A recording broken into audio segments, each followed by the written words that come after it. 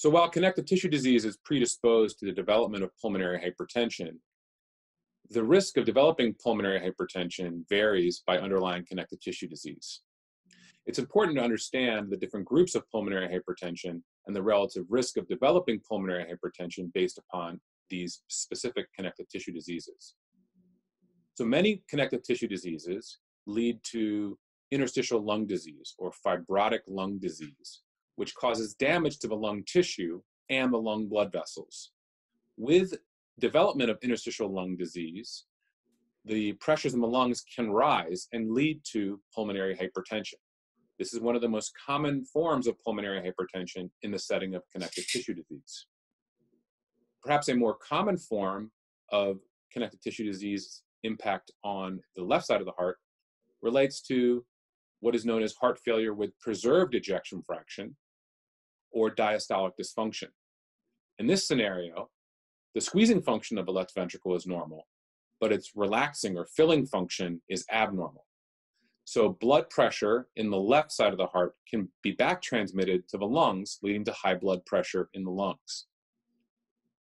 Both HFpEF, or diastolic dysfunction, and congestive heart failure can lead to pulmonary hypertension.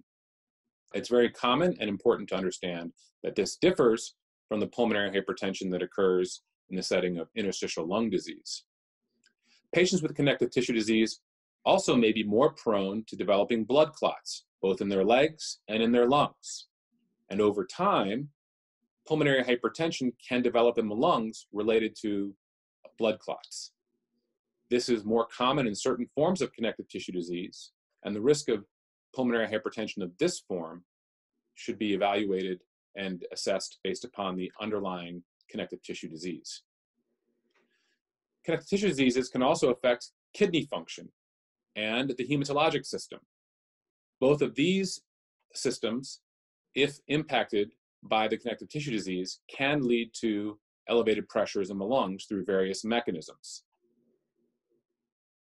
The rarest form of pulmonary hypertension that can be seen in connective tissue disease is known as pulmonary arterial hypertension, or PAH.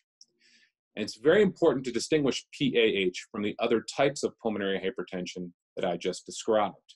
Pulmonary arterial hypertension can only be diagnosed by right heart catheterization and, importantly, cannot exist with these other forms of pulmonary hypertension. So if you have left heart disease, congestive heart failure, for example, or significant interstitial lung disease, or blood clots in your lungs, or renal failure, then by definition, you do not have pulmonary arterial hypertension. This is very important to understand because our treatment options depend greatly upon which form of pulmonary hypertension you have.